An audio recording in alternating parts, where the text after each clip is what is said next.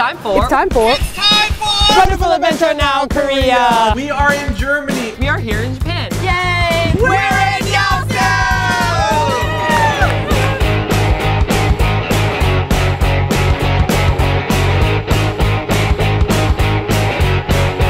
So what we're doing today, we're going to the Trick Eye Museum. We're going on a beer pub crawl. And we're going to be going to the Coffee Prince coffee shop. Yeah. This area is really cool. So this is a really big adventure today.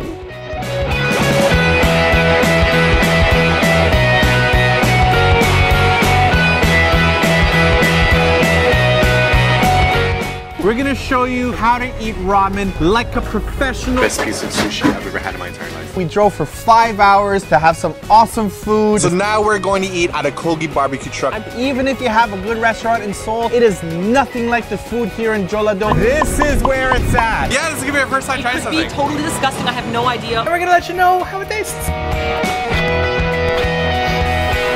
smells like sadness. Don't. Go. Uh, all at once, down. Put the entire dick around in your mouth. So what you're saying is. What you're saying is, So what you're saying is. this is a maxi pad for my armpits. River watermelon! And go.